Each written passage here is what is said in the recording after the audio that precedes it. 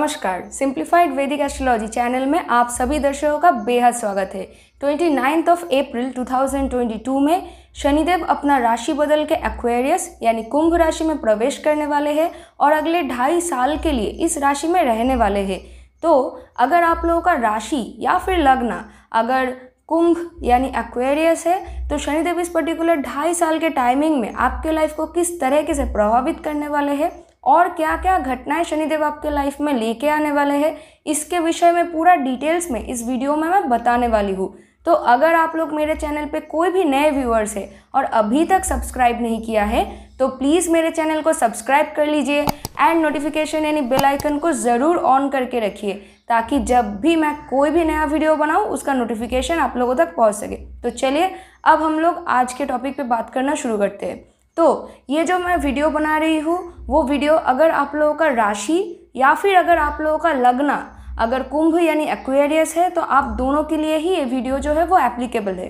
तो आप लोगों के लिए शनिदेव आपके लग्न यानी फ़र्स्ट हाउस पे प्रवेश करने वाले हैं और अगले ढाई साल के लिए इस घर में रहने वाले हैं। तो फ़र्स्ट हाउस जो है, वो आपके जो हेल्थ है, जो हमारा जो हेल्थ है, हमारा ईगो सेल्फ एस्टीम हमारे सोसाइटी में नेम, फेम रिकग्निशन क्या है, इन सारे चीज़ों को जो है वो फ़र्स्ट हाउस रिप्रेजेंट करते हैं, यानी दर्शाते हैं। तो शनिदेव जब भी आपके फ़र्स्ट हाउस में आएँगे या फिर किसी भी घर में जाते हैं तो क्योंकि शनिदेव एक रियलिस्टिक प्लानट है तो वो जिस किसी भी राशि में या फिर घर में प्रवेश करते हैं, उस घर से रिलेटेड चीज़ों के तरफ़ वो रियलिटी चेक इन करवाते हैं। तो सबसे पहले शनिदेव आपके हेल्थ के ऊपर आपको ध्यान देने में मजबूर करेंगे। वो रियलिटी चेक इन करवाएँगे हेल्थ रिगार्डिंग कि आप लोगों का हेल्थ कैसा है। अगर आप लोग अब तक बहुत ज़्यादा जंक फ़ूड खाते थे बहुत ज़्यादा ऑयली फ़ूड खाते हो तो अब एक्सरसाइज नहीं करते हो ठीक से तो अगर ये सब बहुत टाइम से आप लोग कर रहे हो तो इस वक्त कुछ ना कुछ ऐसा होगा जिसकी वजह से आप लोग अपना शायद नॉर्मल कोई ईयरली कोई हेल्थ चेकअप कर करवाएँगे या फिर आ, कुछ आप हेल्थ रिगार्डिंग किसी डॉक्टर के पास जाएँगे कंसल्टेंट लेंगे और अपने हेल्थ के ऊपर ध्यान देने में आप लोग मजबूर हो जाएँगे। ओके दूसरा जो चीज़ है, वो है फ़र्स्ट हाउस यानी लग्ना जो है, वो हमारे ईगो को भी रिप्रेजेंट करते हैं। तो अगर इस वक्त आप लोग अननेसेसरी बहुत ज़्यादा ईगो दिखाएँगे लोगों के ऊपर तो शनिदेव आपको रियलिटी चेक इन करवाएँगे और इन रियलिटी अगर आप लोग बहुत ज़्यादा ईगो दिखाते हो तो आप अपने लाइफ लाइफ आपको थ्रो डाउन करता है नीचे। तो इस वक्त अपने ईगो को कंट्रोल में रखिए, अपने एंगर को कंट्रोल में रखिए। हद से ज़्यादा ईगो या फिर एंगर और अननेसेसरी चीज़ों चीज़ों के ऊपर अगर आप लोग अपना ईगो दिखाएँगे, लोगों को ज़्यादा परेशान करेंगे अगर आपकी ईगो की वजह से तो शनिदेव आपको बहुत ज़्यादा नीचे डाउनफॉल देंगे इस वक्त। क्योंकि शनिदेव आपके लग्ना के ऊपर बैठ के आपको, आपके ईगो को रिफाइन करने की कोशिश करेंगे। तो ईगो से थोड़ा अपने अपने ईगो को कंट्रोल में रखिए, अपने गुस्से को कंट्रोल में रखिए। और लगना क्योंकि जो है, वो हमारे एवरी एस्पेक्ट ऑफ़ लाइफ को भी रिप्रेजेंट करता है।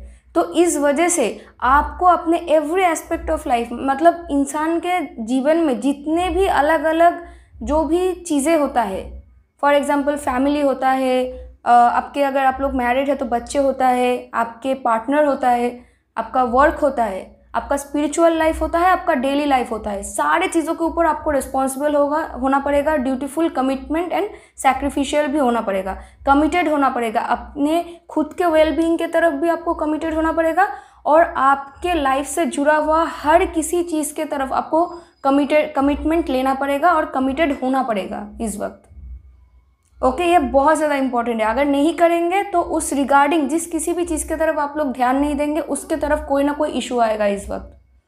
साथ ही में, अब देखिए, क्योंकि फ़र्स्ट हाउस जो है, वो हमारा नेम फेम रिकग्निशन यानी हमारे फेस को भी रिप्रेजेंट करता है। तो इस वजह से अगर आप लोग बहुत ज़्यादा मेहनती इंसान हैं, बहुत ज़्यादा आप लोग ऑनेस्ट इंसान है, मेहनती इंसान है तो इस वक्त आप बहुत ज़्यादा अगर आप लोग काम कर रहे थे तो उसके रिगार्डिंग शनिदेव आपको रिज़ल्ट देंगे।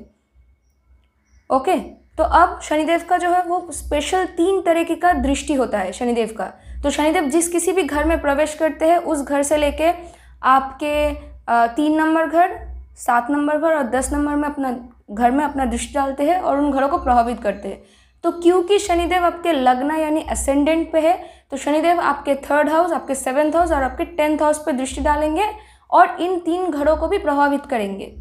तो थर्ड हाउस जो है, वो हमारे कम्पिटिटिव स्किल हमारे कोई भी अगर स्पोर्ट्स अगर स्पोर्ट्स फ़ील्ड में अगर कोई हो तो स्पोर्ट्स को भी रिप्रेजेंट करता है कॉम्पिटिटिवनेस को रिप्रेजेंट करता है skill of hands and specially third house हमारे कम्युनिकेशन को रिप्रेजेंट करता है। तो इस वक्त आपके कम्युनिकेशन में बहुत ज़्यादा हार्शनेस आएगा। बहुत ज़्यादा कोल्डनेस आएगा। आप लोग बहुत ही कोल्ड तरीके से बात करेंगे, बहुत ही स्ट्रेट फॉरवर्ड बात करने लगेंगे और आपके बात में बहुत ज़्यादा एंगर होगा। तो अपने कम्युनिकेशन की तरफ़ थोड़ा सा ध्यान दीजिए क्योंकि आपके कम्युनिकेशन की वजह से आपके सामने वाला इंसान अनॉयड हो सकता है। और आपके कम्युनिकेशन की वजह से क्योंकि शनिदेव का जो थर्ड दृष्टि है, वो बहुत ज़्यादा कार्मिक होता है। और थर्ड हाउस हमारे फ्रेंड सर्कल को भी रिप्रेजेंट करता है सोशल मीडिया को भी रिप्रेजेंट करता है। तो स्पेशली आप ध्यान दीजिए, जब आप लोग अपने बातों के ऊपर तब स्पेशली ज़्यादा ध्यान दीजिए, जब आप लोग अपने फ्रेंड के साथ बात कर रहे हो और सोशल मीडिया में जब आप लोग कुछ पोस्ट कर रहे हो या फिर कोई कुछ पोस्ट के ऊपर कमेंट कर रहे हो तो बहुत सोच समझ के ध्यान से कीजिए। क्योंकि उसके वजह से कार्मिकली कोई प्रॉब्लम आपके लाइफ में खड़ा हो सकता है। अब क्योंकि थर्ड हाउस जो है वो हमारे ट्रैवलिंग को भी रिप्रेजेंट कर सकता है, करते हैं तो शॉर्ट डिस्टेंस प्लेस में आप लोगों का ट्रैवलिंग भी हो सकता है इस वक्त।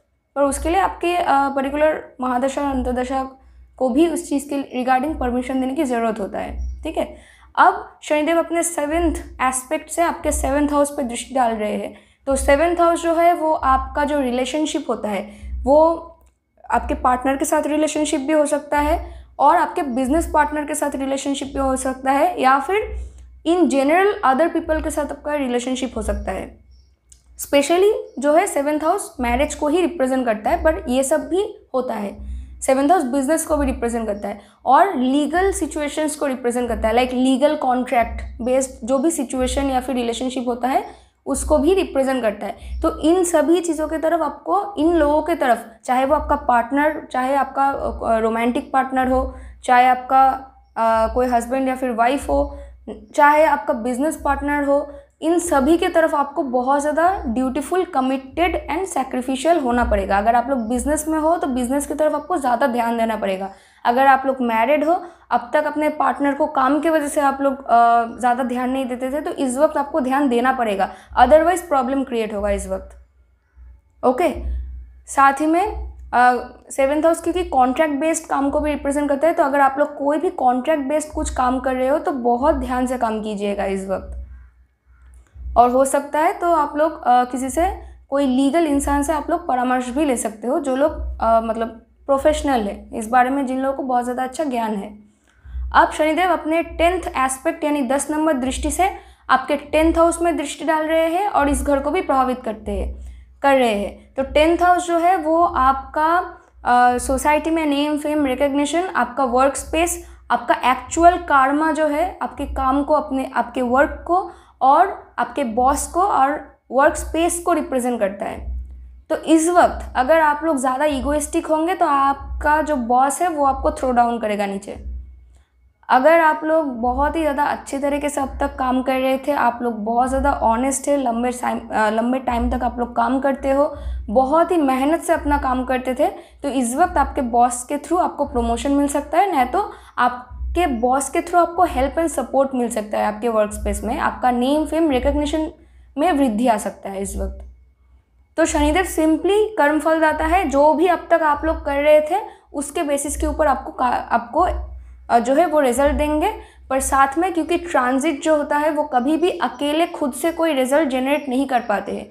ट्रांजिट कोई भी चाहे प्लानट का ट्रांजिट क्यों ना हो, चाहे वो जुपिटर ट्रांजिट हो सैटन ट्रांजिट हो, राहु केतु ट्रांजिट हो मार्स ट्रांजिट हो, कोई भी प्लानट का ट्रांजिट क्यों ना हो, वो हमेशा आपके करंट महादशा और अंतरदशा के बेसिस के ऊपर ही रिज़ल्ट देते हैं।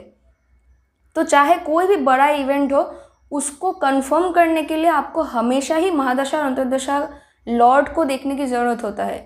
उन लोगों का कंडीशन देखने की ज़रूरत होता है। स्पेशली ट्रांजिट के लिए आपको अष्टक वर्ग स्कोर देखने की भी बहुत ज़्यादा ज़रूरत होती है। तो यहाँ पर मैंने जो भी चीज़ें कहा है, वो एक जेनरलाइज्ड एनर्जी है। जब शनिदेव ट्रांजिट करते हुए आपके लग्ना पे आते हैं या फिर फ़र्स्ट हाउस में जब भी आते हैं तो वो तब कैसा रिज़ल्ट देते हैं? तो अब ये रिज़ल्ट कितना हद तक आपके लाइफ के साथ मैच करेगा वो डिपेंड करेगा आपके पर्टिकुलर हॉरोस्कोप के ऊपर। आप कौन से पर्टिकुलर महादशा और अंतरदशा के ऊपर से गुजर रहे हो? डिविजनल चार्ट में बर्थ चार्ट में उन लोगों का पोजीशन कैसा है? स्पेशली अष्टक वर्ग का स्कोर कितना है? इन सारी चीज़ों के ऊपर जो है वो डिपेंड करेगा। ओके okay, तो होपफुली आप लोगों को ये वीडियो अच्छा लगा है। और हाँ स्पेशली एक और बात मैं बोलना भूल गई थी कि जिन लोगों का भी स्पेशली अगर कुंभ राशि है तो उन लोगों को मेंटल स्ट्रेस आएगा इस वक्त। तो मेंटल स्ट्रेस से बचने के लिए आप लोग मेडिटेशन कर सकते हो, अपने रिलीजन के हिसाब से कोई भी स्पिरिचुअल एक्टिविटी कर सकते हो, और नहीं तो आप लोग हाँ स्पिरिचुअल एक्टिविटी ये सब कर सकते हो।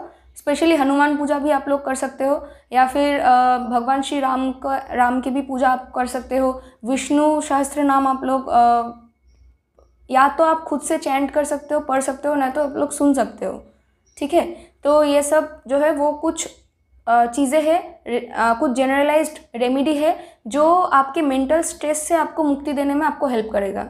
ओके तो होपफुली वीडियो आप लोगों को अच्छा लगा है। अगर वीडियो अच्छा लगा है तो please like share and subscribe कीजिए और मुलाकात होगी आप सभी लोगों से मेरे अगले वीडियो में।